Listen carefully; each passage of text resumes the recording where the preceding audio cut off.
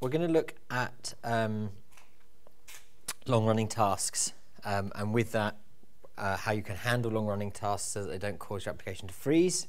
From there, we'll look at um, using web APIs, which uh, can take some time to respond because we're going over a network and we don't know what the network conditions are going to be like. So we'll look at making calls to uh, an API uh, using just the standard things that are available to us in Android, uh, and then we'll move on to look at how we can use like a, a library from elsewhere to uh, simplify those kind of things. So if we do a long-running task um, and we run it, we just write the code for our long-running task in, say, our main activity, uh, and don't need to do anything particular, um, our activity could freeze up. Okay, so um, I can show you a brief example of that. I can write some uh, badly written code, uh, and we'll see what happens. So um, let's just jump into Android Studio. Um, and I'll just create a new empty application. I'll call it um, slow app. And I'll start with an empty activity. Um, and what I'm going to build it to do is to uh, very badly generate a random number. Okay. Um, now, obviously, there is a random um, uh, implementation available to us, but we're we're going to kind of misuse it and make a really slow, slow version of that. Um, just because I can't think of any valid uh, long-running task to do. Um, typically, if we want, if we got like large data, and we need to perform some sort of complex operations on it. That could be slow. Um, I'm just going to write something that's just not particularly good um, to do that today. So I'll just start off by creating an application with just a button and a text view. Pop that up there. Um, and here's my text view. And I just infer constraints. Um, and I shan't worry about changing the, the labels or things for the moment. But what I will do is attach um, uh, an action to the button uh, on click, um, and we'll I don't know, we'll call it um, get random. Okay, so we've got that, and in my main activity, I'll implement that get random method. Um, pass a view as a parameter. Uh, and to do it, I'm going to, um, let's just import that. Uh, I'll make use of a method I'm going to write that's going to be particularly bad. Okay, so I'm going to call my uh, method slow random int. And it's going to return an int. And um, basically I'm going to create some kind of list. So list, uh, that can be a mutable list of uh, integer.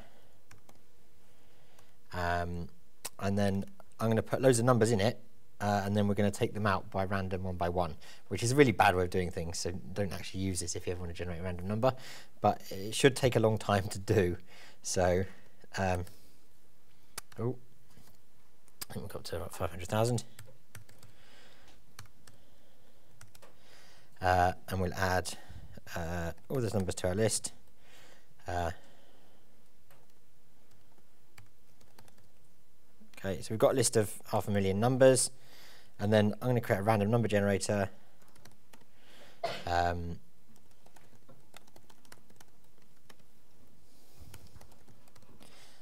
and we'll just import that. And um, basically, while we've got um, uh, more than one number left, so while the uh, the list dot count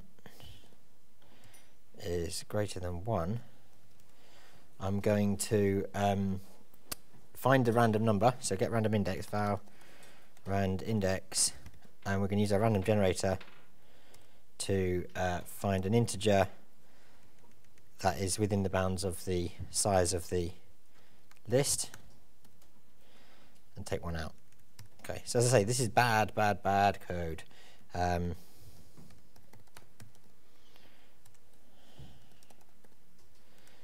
So basically, we're putting load numbers in a list and then removing them at random to see what we're left with, rather than just you know generating a random number. So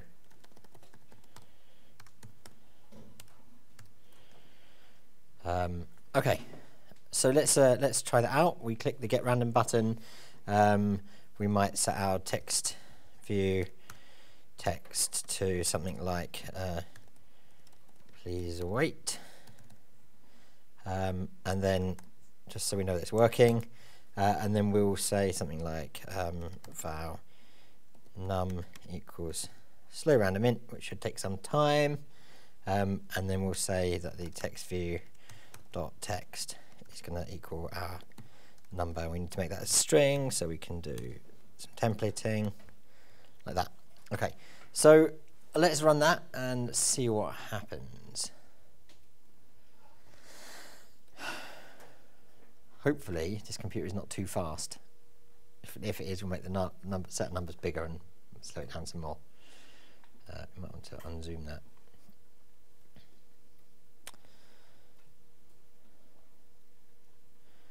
Okay, so our application's launched. We hit the button.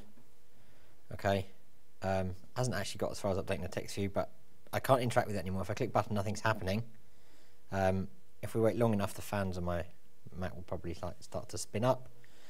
Um, but yeah, nothing's nothing's happening. I can't interact with it anymore.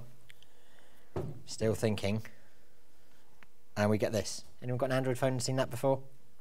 Yeah. Okay. So this is this is less than ideal. Okay. Now I imagine we could click wait, and then eventually, hopefully, eventually, we will get a number appear in our um, text view.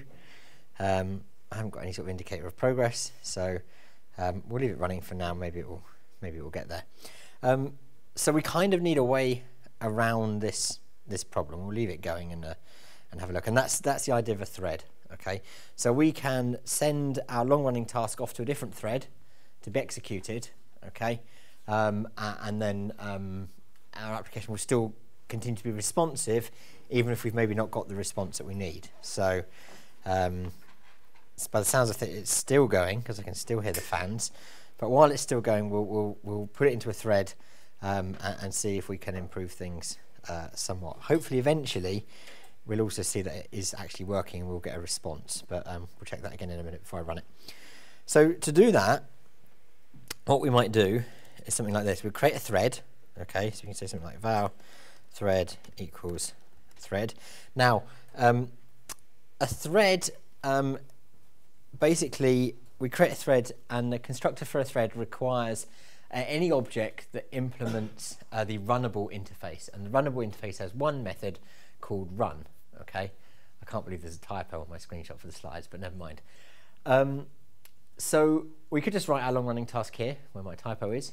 Okay, but just like implementing a non-click uh, listener, um, we can uh, use the optimizations that we've got in Kotlin to where we've got one um, one uh, method in the interface, we can actually essentially omit that code and just write thread brackets.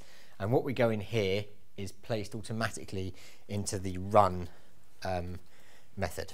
Okay, so we do it the long way and then we'll, we'll fix it to the short way. Have we actually got our random number yet? No, we're still still waiting. Okay, so we do uh, thread.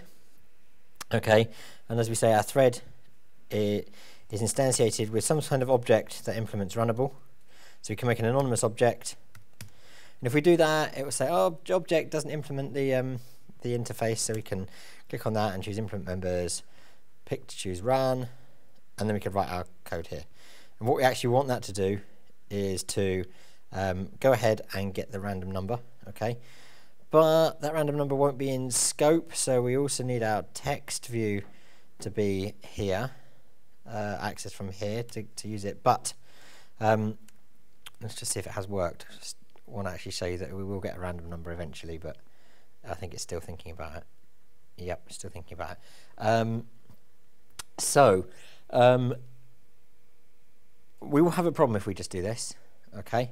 Um, in order that we can do it at a more useful speed, I'm going to drop the uh, number down by 10%, and hopefully we'll actually see it. Yeah, it's still not responding. Uh, yeah, we're not getting there, are we? Um, but we'll uh, we'll just see um, what happens if we do this. So it's going to complain at us because we're, we're missing something. Oh, we're also missing one other thing, and that is it's all well and good creating the thread, but if we don't tell the thread to start, then nothing will happen. Okay, so that will start off the thread. So our application will still be responsive. So when we click on that button, you'll still see the little animation on it. Um, it would obviously start the calculation over again, uh, but it should work rather than freezing up. I think I chose rather a large number to test it because it's still going and my fans are still running at full power. So I'm going to give up and stop it. Uh, and I'll run it uh, like this. And actually, rather than put it out straight out to text view, I'm going to log it out so we can see that it does work. Um, and then we'll see what happens when we try and put it in the text view. So I'm just going to do like log dot. I'll log it as a as an error so it's easy to spot. Um, uh, main activity, and we'll log out that um, num. Uh, probably wants me to put it into a string, I imagine.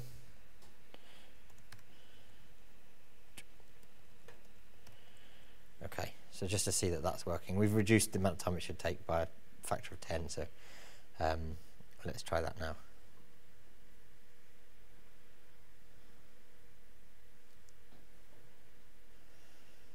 Okay, so we hit the button, it's changed to please wait, but it's I can click the button again. It's not lost.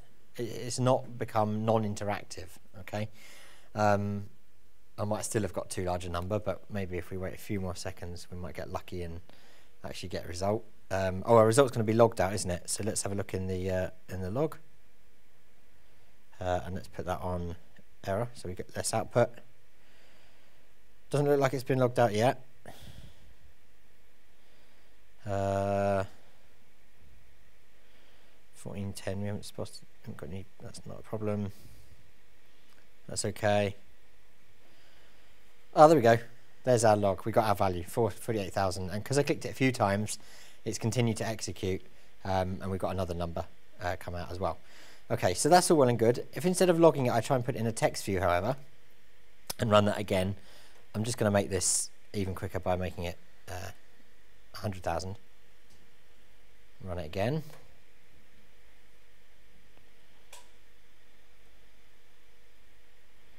Hit my button. Okay, it's actually terminated. It's, it's thrown an exception. Okay, and if we have a look at that, and look in the output here, and scroll up, we can see we've got this message, only the original thread that created a view hierarchy can touch its views. So we're in a different thread, we can't update the view, okay? Um, so the solution to that is at the point we need to update it, we have to call another method that belongs to the activity, which is uh, run on UI thread. And that also takes an object that implements runnable. And in the same way we, we've done up here, we can do, um, we can kind of um, make use of the optimizations. It means we don't have to specify that. And we can update the text view here. So if I try it again now,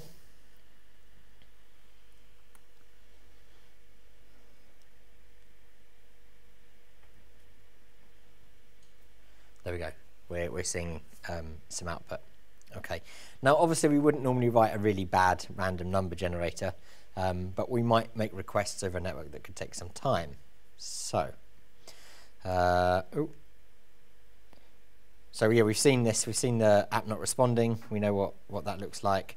Um, we can use this run on UI thread to go back. There are a couple of other options, okay, um, or one other option, which is um, a view has a method called post, and we can use that method and pass in our um, pass in what code we want to run instead. Um, depends what we want to do. Obviously, we need access to a view to do that, which we might not have depending on where we are. So, uh, run on UI threads are a good sort of um, a good option there.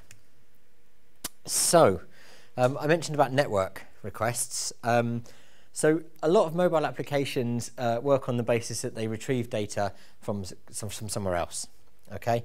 Um, they don't just exist on the phone. They're not like standalone apps. They tend to have network access. Um, and typically, in order to do that, they might access some kind of application programmable interface, okay? Which is any kind of interface against which we can program, kind of defined in the name. There are plenty of public APIs we can use, uh, all with all sorts of different information that we can get hold of.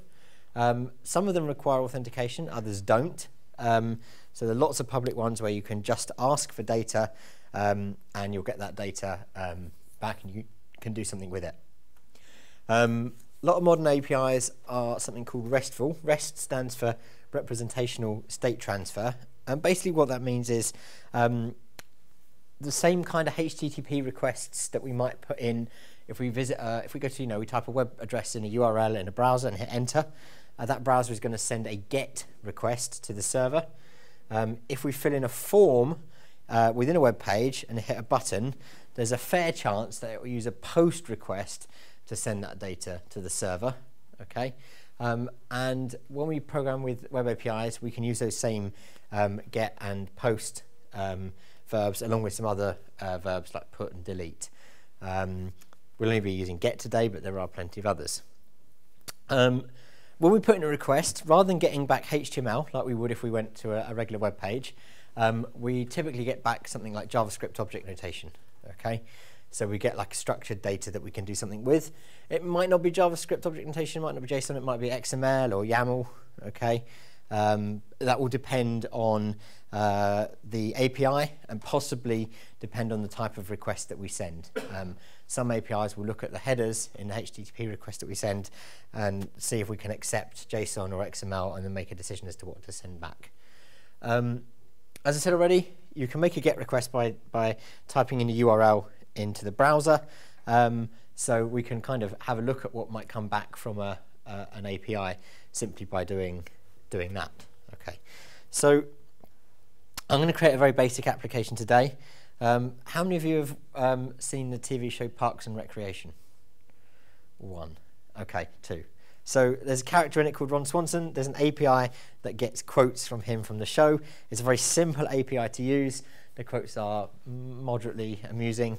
So we're going to use that to, um, to create an application that's going to go away to the API, pull some data from it, and uh, put it on the put it inside our application. So um, I'm going to create a new app to do that, I think. Um, I'll call it Ron quotes. And I'll just start again with an empty activity. And actually, we're going to set up pretty much just like the last app where we had a button and uh, a label. Um, so once it's woken up, and I can get to my uh, layout, uh, make a bit of space so we can see it, I'm going to delete the existing text view. I'm going to add a button at the top there. Um, I'm going to change the button text to get quote and I'll fix that into a string in a minute. And I'm going to add a text view uh, underneath it. And I'm going to expand the text view so we've got a fair bit of space uh, for it. And I'm going to set the number of lines for the, the um, text view as well. I don't actually know if I have to do that but um, it would seem sensible so we set it to, I don't know, six lines just in case. So I don't want the text that comes into text view by default, so we can take that text out. But I do want the text for the button, and it's going to tell me that, um, okay, we're missing some constraints, so let's fix the constraints with the fix button. And I've got some hard-coded text, so I'll just extract a string resource to solve that. Okay, so I've got button and I've got space for my, um, for my quote. So what do we need to do? Well, um, we need uh, the quote to be hooked up to a button. So just like before, we can add a um, on-click event for it, if I can find where it is. Oh, on-click. Uh, I think we'll call it quote pressed, I don't know, something like that. Um, and then we'll implement a function here with the same name, fun quote pressed, and that has to take a parameter of a view which we'll have to import. Come on, no, don't exclude it from completion. Uh, there we go, import. Okay, so what do we want to happen? Well, we know that um, we want, uh, we're going to need to make our request using a thread. Okay, we also need to know how, where on earth we're going to make the request for our API. Okay, so um, with any API, we need to probably read a little bit about the documentation for it, and we need to find it first. So I'm just going to type Ron Swanson API into Google, um, and I think it's this one at the top here. Okay, so actually we've got the the whole source of this guy's um, API, but um, we we know where it is. It's located here. Um, and we've got a bit of information about the API that tells us if we make a, a call to this URL, i.e this one here, it will give us an array with one quote in JSON format. And if we make a call to that URL and pass um, a, a, count in um, as well, we'll get that number of items in the URL. So it's a very trivial uh, API. There are much more complex APIs out there. Um, and when you come to do your assignments, you'll be doing something where you use an API. Um, you have pretty much free reign on what API you use. Obviously, the more complex API you use, the more potential for marks there are. Um, we're doing a very trivial one today. So let's have a quick look at what happens if we try and visit this, this API. So I'm going to click that. It's actually taken me um, to, to the URL, and because I'm in Firefox, it's given me this sort of preview in JSON format, and I can see it's an array, and the first item in the array index 0 is a quote. Okay. If I click raw data, we can see what that looks like um, in, in raw JSON. Okay. Similarly, if I made a, a call to it and passed in that I wanted seven quotes, I'd get the same. Again, it's automatically formatted it for me, but I can click on raw data. Um, now it's not formatted at all. If I do pretty print, I get a kind of, it figures out that each item in the array is separated by comma um, and shows me them. Okay, so we, we can see how it works. We can see the data that is coming back, and we know that the data is in JSON uh, format. So um, I only want to display one quote at a time. So the API uh, address I need is this. Okay, um, and I'm going to go and just put that into my application for now. Uh, let's just up here, uh, var API URL, and we'll paste that in. Okay, um, we're missing a protocol. Okay, uh, I happen to know because it went wrong in the first class that this uh, runs either over HTTP or HTTPS. Um, configuring a Android application to um, make a call over uh, HTTP, i.e. not, not secure, um, is a bit of a pain, and it's a pain for a good reason, because if your application makes calls to H over HTTP, that's not secure. So the data that we send, which, okay, in this case is only a URL, doesn't really matter, goes over plain text. If we're building an application and that application can collect data from the user, and that application sends that data over the internet in plain text, that does not look after the user in any way, shape or form because their, their private data could be going out over the public web. Um, I happen to know that this, uh, as I say, this particular API also works over HTTPS um, and that's fine because, and we'll use that, okay.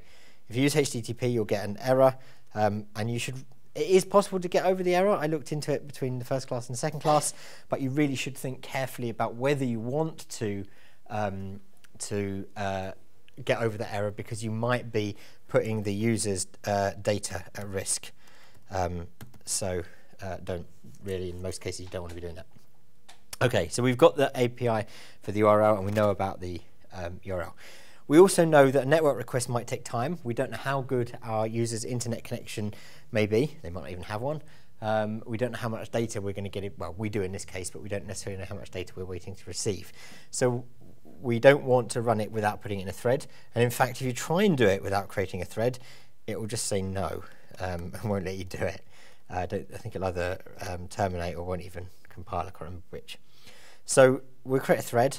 Um, and because it's easy to forget, I'm going to tell the thread to start once we've created it, because otherwise uh, nothing might happen. So I forgot to do that previously. Make sure you put it in. It should work. Um, okay, let's just check that quote pressed matches because it's grayed out. Ah, my on click has disappeared. I thought I typed in. Okay. There we go. Okay, I could have sworn I typed that in, but anyway. So, um, we've got a thread, okay. Um, we can start off by creating a URL object, so we can say something like val URL equals URL and pass in our API URL. Um, and we need to import that. Okay, so that gives us a URL. Uh, the next stage uh, is to uh, create a connection uh, to that URL. So we can say our connection connection yep equals URL dot open connection. Okay. Um, now that by default open connection returns um, a URL connection. Okay. But we actually need to set some properties that are specific to an HTTP URL connection. And we know we're making a HTTP connection because that's the protocol that's in use here. Okay, so we can specify actually this connection needs to be opened as a HTTP URL connection. Now you might think that's dangerous. If we actually took the time to read the documentation for this, you would see that if for the URLs protocol such as HTTP or JAR there exists a public specialized URL connection subclass belonging to one of the following packages, uh, the connection returned will be of that subclass. So actually, um, for HTTP, a HTTP URL connection will be returned. So we do know that that's okay to do because it says so in the documentation. So should be good. We, we also need to specify some parameters like how long do we want to bother waiting to get a connection? You know, if the server's down, do we want them to wait for a year, a week, a day, a minute, a second? Um, so we can specify connect timeout. So we can say connection dot connect timeout, and that's in milliseconds. So if we do like 10,000, that's 10 seconds. Um, we also want to see how long do we want to wait to actually read the data. Okay, now, um, so there's a, a, read timeout. Read timeout. Um, and again, I don't know, we set 10 seconds for this. In the real world, that could mean that our user in theory could wait 20 seconds. I don't think that's, I think that's a bit long. So I guess it kind of depends on what you're doing as to how long we set these. But um, if we don't get connection within 20 seconds, we probably want to give up anyway. And then we also need to specify what type of uh, request we're making.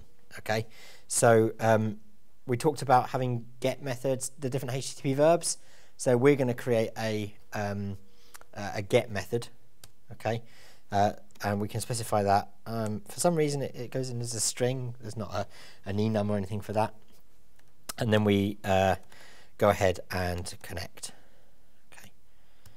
So at that point, we should be connected to the, the server, and we should get some kind of response back. Okay, and it's that response we want to do something with.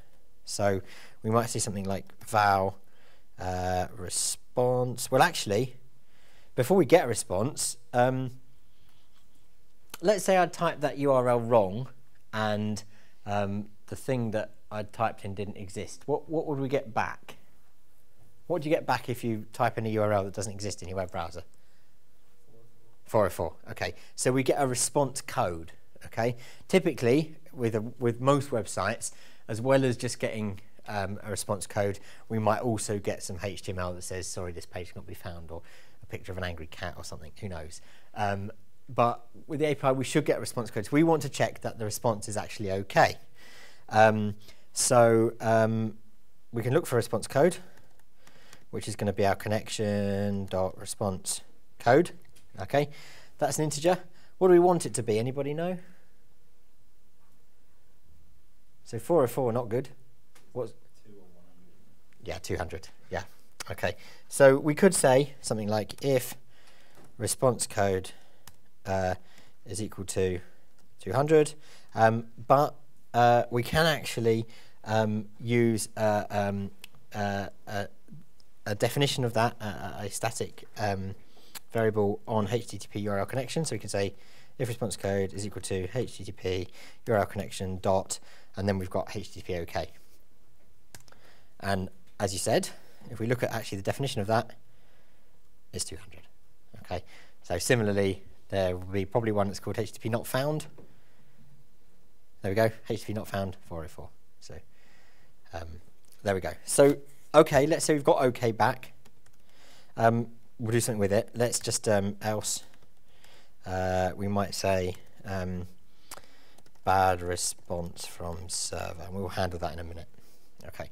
So, so far things hopefully are going well.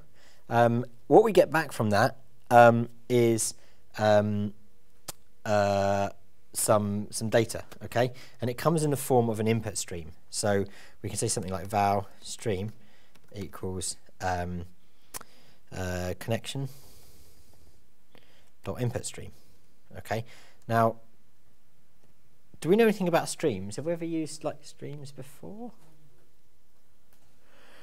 So a stream is like a like a, a, stream, like a series of data that we, we would have to sort of handle maybe a bit after a bit after a bit, because that data might not come in all at one go. Okay. Have we ever used anything maybe in Java where something might not come in all at one go? When we built our applications, our command line applications last year, how did we get data in? we typed it in the console, yeah? Okay, so essentially that's like a stream of data And what do we use to read that stream of data? Last year? Scanner, yeah. Okay, cool. So we can use the scanner to read the data from this input stream. So rather than putting it in a variable, we can say something like, um, uh, we'll create a scanner. Uh, obviously we're in Kotlin, so we don't have to do new scanner, which is like scanner. And then we need to provide it. So instead of giving system.in, okay, um, which I think is probably a system.in, yeah, it's an input stream. Um, we can provide it with the connections input stream. Okay, so that gets us uh, an input stream into a scanner, and we know how to use a scanner. Okay, we can like do um, if scanner dot has next and then scanner dot next line or whatever. Um, I'm actually interested in reading just everything that's come in. Okay, so there's different ways we could do that. We could say something like um, var input equals an empty string. Oops, an empty string, and then we could say um, while scanner dot has next, then uh, input um, plus equals scanner dot next. Um, that's one way of doing it. Okay, again, we're, we're building a string without string builder, which is maybe not ideal. Um, but you might think, oh, this seems like a little bit bit messy. Come, we just want everything that's coming back. We want the whole response. So other people have thought about that too, and um, if you do a bit of a Google, you'll find quite a nice solution where we can actually set this. We can we can um, if you did the task last year when we read from a CSV file, um, uh, we can actually specify how we want to. In fact, it was in the PokeTutor tutorial. We can we can split what we're reading using a delimiter. We can specify what that delimiter is. Okay, so rather than say, okay, well, we'll just get each next bit from the scanner, we could actually say to the scanner, we only want you to stop giving us data when you get to the end of the stream. And we can do that by saying scanner dot delimiter. Was it use delimiter or delimiter? Let me check. Yeah, use delimiter. And then we need to give it a specific pattern that looks like this. That basically means um, read in everything until you get to the end of the file. Okay. In the tutorial, you can see where I borrowed that from. It was a Stack Overflow answer. Um, where I think other people had had the same query I did. So I had a look. That delimiter basically says keep going until you get to the end of the file. So that's what's happening there. Okay. So we then need to get read that into some sort of string. So we might say something like val JSON data because we know it's come back as JSON. Um, uh, we can do like scanner dot uh, next. Okay. But it's possible the scanner hasn't got anything because we could have an empty response. So a safer bet is to say, um, actually, is there any data? And if there is, we can get it from the scanner. And we can do that with like an inline if else statement. So we say if uh, scanner dot has next, then um, we give it what's next. Else, we just give an empty string. So by the time we get to the end of the statement, we've either got an empty string of JSON data, i.e. nothing in it, or if the scanner had something, then it was whatever the scanner had, and the scanner would it would give us everything up until the end of the file. So we've got some JSON data. Okay, so we're now at a point where we could kind of think, okay, is this working? We haven't necessarily put it back in our view, um, but we could we could we could log it out. Um, again, just just to get it working, I'm going to log it out. I know it's not an error really, but um, it makes it easier to to see. Um, so main activity, and we'll log the JSON data. Okay, so all being well, we should see a quote appear in our in our log. So if I turn on the log, set that to error. I know it's not an error, we've been a bit naughty, but um, I will run it and see what happens. So start up our application. There's bound to be a mistake. There were lots of them earlier, so good chance of one here. Okay, so let's have a look at why there is a mistake. Um, and we'll scroll up.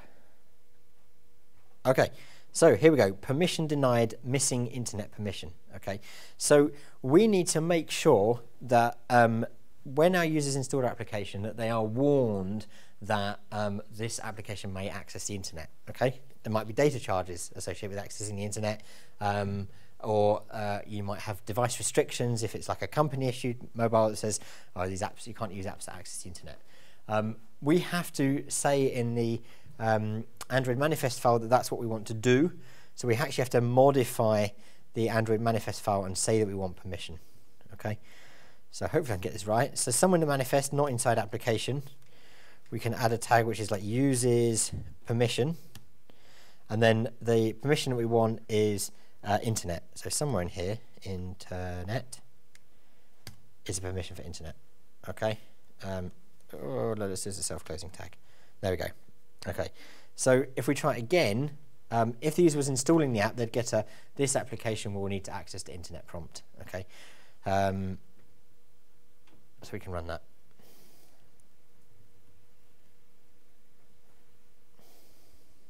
And let's try again.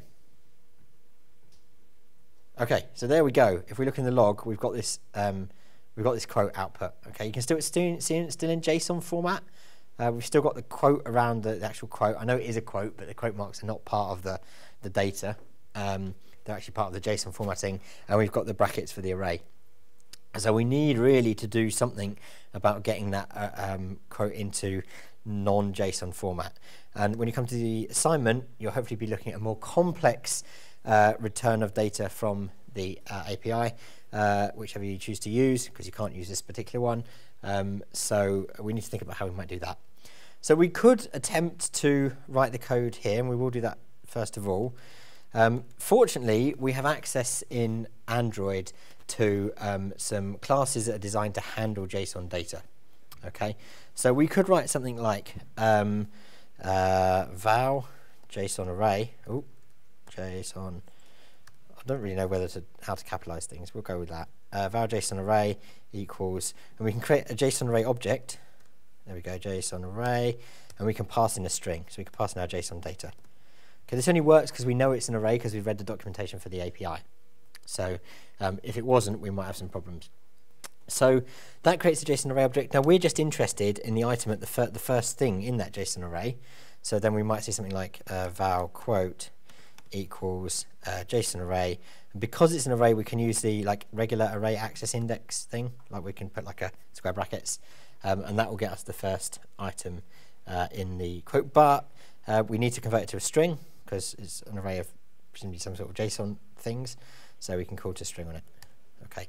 Now, because I know it's doesn't seem like much, um, this bit could be a bit more complicated. I think it's better to extract it out into a method. Okay.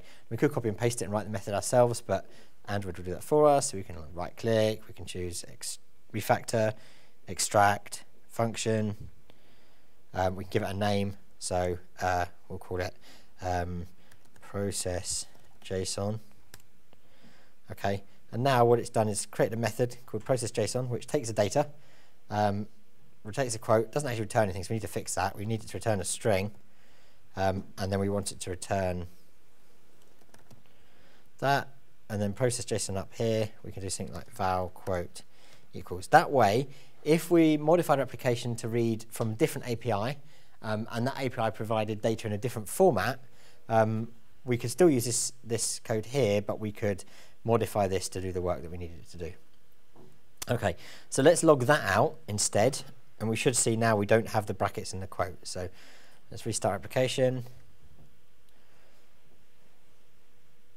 hit get quote, and there we can see, if I could hide that, ah, go away.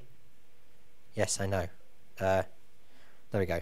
We've got a quote, and it's no longer in quotation marks or brackets. So we're most of the way there. Um, what we also need to do is to update our text view. Okay, so uh, we need to put that quote. and get rid of our logging now. So how do we do that? What method do I need to call in order to um, put the code into my text view? Can I just write textview.text? Anyone remember from earlier? No. I jump back to the slides we've got to do this run on UI thread. Okay, or we could find the view and use post. Um, but we can do run on UI thread. Run on UI thread, um, and in there we can say text view dot text equals quote. Okay, again, um, I know it's not much, but I'm going to extract it out, and that's because chances are we might need to handle what appears if there's a bad response from the server. We might use that same text box to do it. So um, I'm gonna I'm gonna extract that into a method. I think I'll call it something like update text view. So let's um, let's do that refactor. Well, let's do it by hand this time, uh, just so you can kind of see the process. So I'm going to cut that. I'm going to create a a method uh, update text box from thread uh, text string and then we're going to say that our text view oh text view bad method bad name there we go text view uh, dot text equals text but I need to put it in that run on UI thread. So I can say run on UI thread and pop it in there. Okay and come back to here.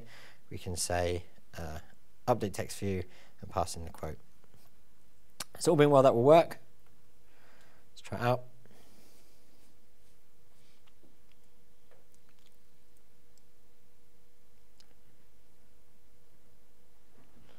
okay so we go we've got a quote click it again get a different quote click it again get another quote okay um, we might need to handle things that are going wrong. So firstly, we could have got a bad response from the server. Okay, the web might be down, might not respond, or might be like a down for maintenance.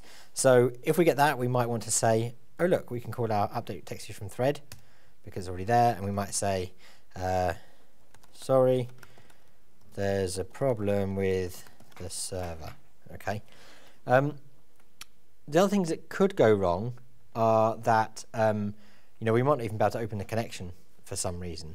So it might be a good idea to put this inside a try block, okay, uh, and then we could catch any exception, which is likely to be an IO exception.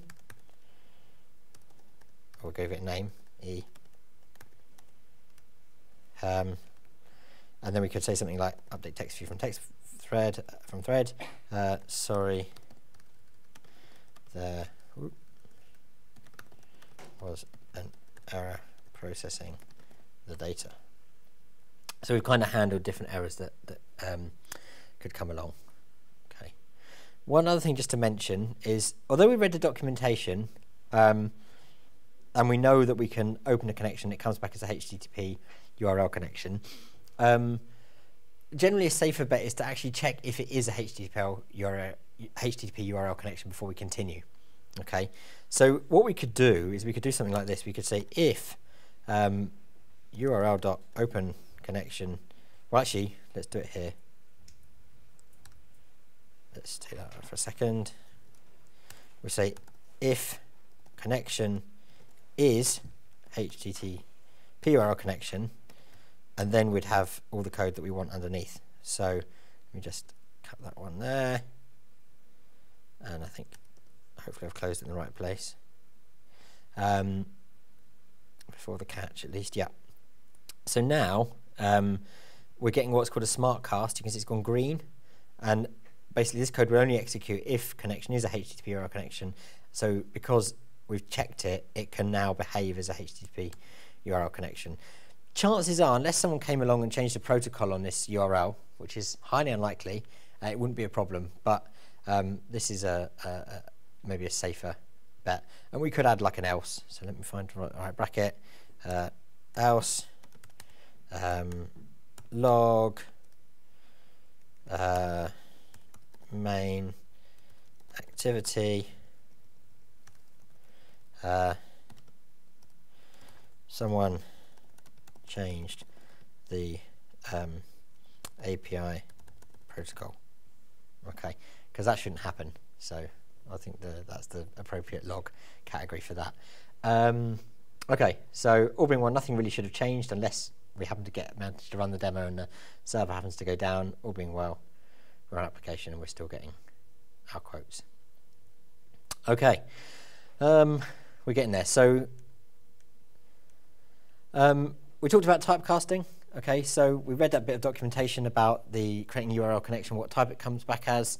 We originally did a cast um, actually, a safer bet is probably to, to check the type and use the smart cast. It's just slightly safer. Um, we don't get an exception thrown. We can handle the error uh, as needs to be. Okay, there's quite a lot of code there, right? Um, we've got like all this stuff about connection, and we've got handle like returning to a, a thread, main thread, and, and all that. Um, you know, people make network requests all the time, um, and sometimes they need to make more complicated network requests. So, for example, you might want to retrieve images as part of your application.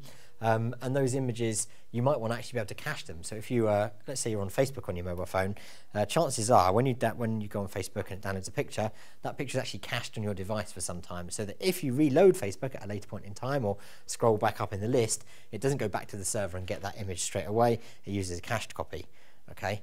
Now, we could do all of that kind of stuff by hand, but that's kind of painful.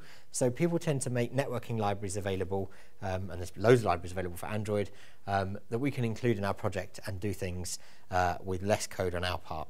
Okay, so we're going to have a quick look at how we might do handle some of this networking code, which is a bit, you know, it's it's about as short as I could make it, but it, there's still a fair bit to it.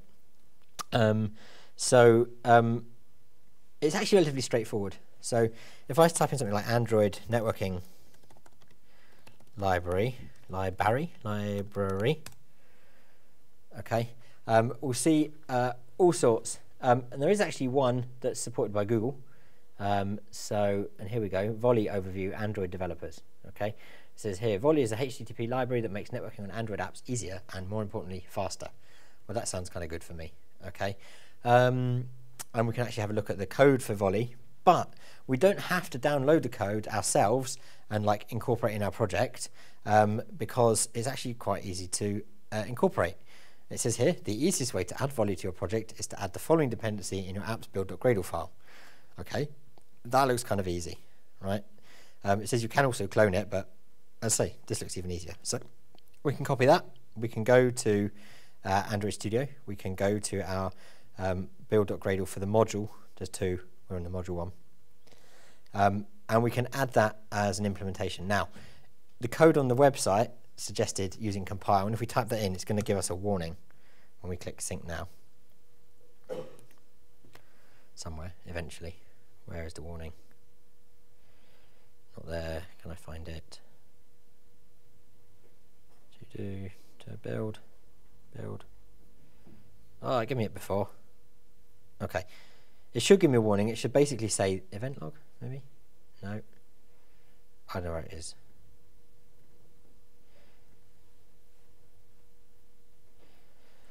Uh, okay, well, I can't find where my output should have come um, from adding that, but what we should have is a warning saying that compile has been deprecated and we should use a keyword implementation instead. Okay. Um, I just can't find where it has gone. So I will fix it anyway. You can be assured that that warning should have appeared somewhere.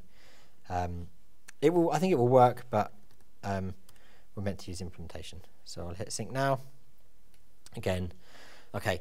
Now, obviously, it doesn't help because I haven't actually read about how I need how to use Volley. Okay. So what we'd do here is then go back to documentation and oh look here we go. Send a simple request. So let's have a look at that.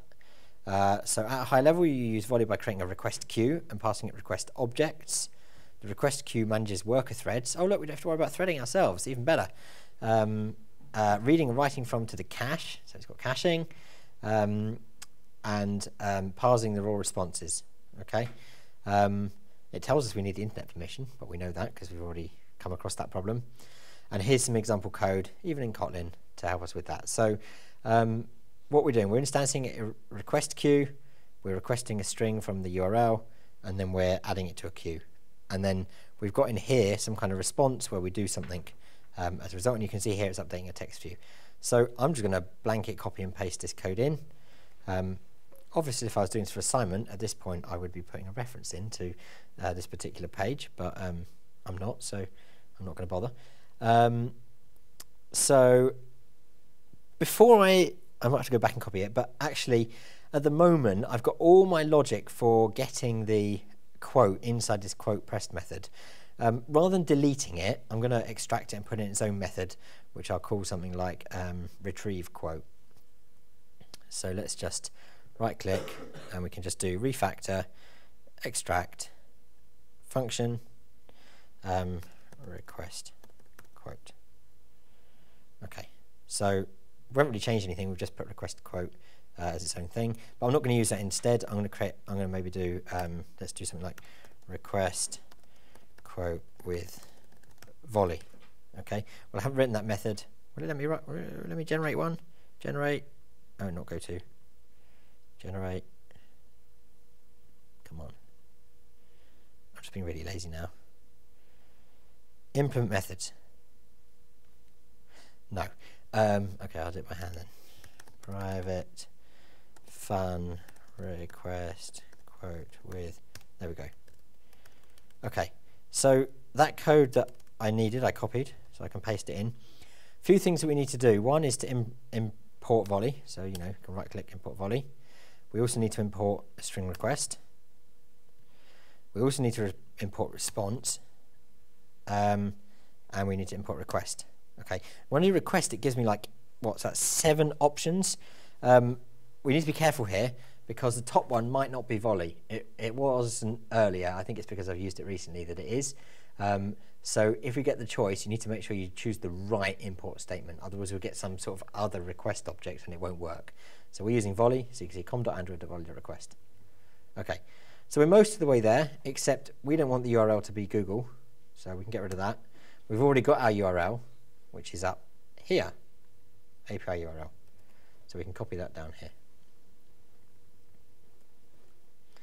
Okay, and then actually it's just coincidence that their text view happens to be called text view and so does mine. Um, and actually all I want is the response, but in this case it's going to give us like part of the response. I want to take the response I've got, process it with my little method for processing JSON. So I can say something like um, val quote equals process JSON and pass in the um, response. And then I can set my text to quote. Okay, so if we now look at it, um, if we just tidy it up a little bit so it looks a bit neater, there isn't that much to it. Um, that's not comment relative to what we're doing. Um, that is a lot shorter than this code here that we had. Um, and we've even got some error handling. Okay, just as that didn't work, but we could change the error message. Um, we might want to te test it, so let's just run it again. Check that we still get the exact same response we had before.